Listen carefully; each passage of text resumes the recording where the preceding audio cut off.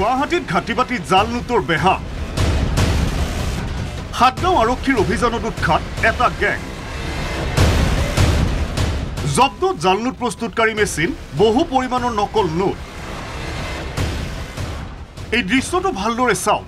জাল নোট প্ৰস্তুত কৰা এটা মেচিনৰ ভিতৰত আছে কেইখনমান পাঁচশ টকীয়া নোট। এই নোট কেইখন আচল নে নকল ধৰিবকে নোৱাৰি। গুৱাহাটীত ঘাটি পাতি এনে মেচিনেৰে জাল নোট চপাই আছিল এটা চক্ৰই।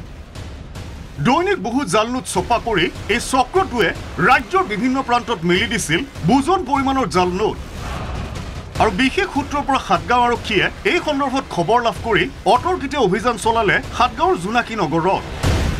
জাল নোট চপা কৰি থকা অৱস্থাতে হাতে লোতে ধৰা পৰিল এইগৰাকী মহিলা আৰু এইজন যুৱক।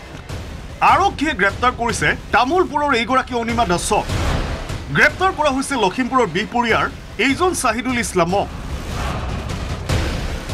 এই জাল নোট চক্ৰটোৱে দুটাকৈ মেচিনেৰে দৈনিক ছপা কৰি আছিল বহু পৰিমাণৰ জাল নোট আৰক্ষীৰ অভিযানত দুটা জাল নোট প্ৰস্তুতকাৰী মেচিন জব্দ কৰাৰ লগতে জব্দ কৰা হৈছে আঠাৱন্নখন নকল পাঁচশ টকীয়া নোট।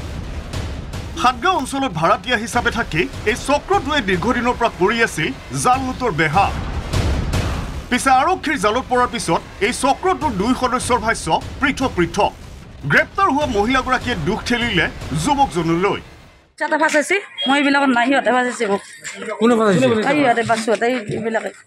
বাছুৱাতে সঁচাই এইটো মানুহজন যে আছে সিহঁতে। মনিকা দাস আপুনি আৰু- বোলে মেইন বুলি কৈ আছে? নাই নাই মই মই এইবিলাকত আপুনি- নাই।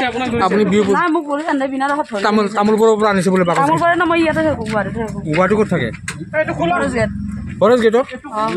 বিপৰীতে বিহপুৰীয়াৰ চাহিদুল ইছলামৰো দাবী এই চক্ৰটোৰে তেওঁ জড়িত নহয়। মই এইটো কৰা নাই মই। তো কোনে কৰিছে এই তাত হেৰি আছে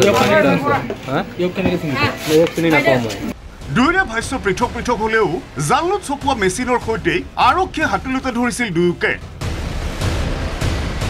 গুৱাহাটীৰ পৰা এই জালনোট চক্ৰটোৱে কিদৰে ৰাজ্যজুৰি নেটৱৰ্ক গঢ়ি তুলিছিল এই সকলো তথ্য জনাৰ বাবে দুয়োকে আদালতত হাজিৰ কৰাই জিম্মাত লৈছে সাতগাঁও আৰক্ষীয়ে। নাৰেংগীৰ পৰা শামছুল ৰহমানৰ report D Y three six five.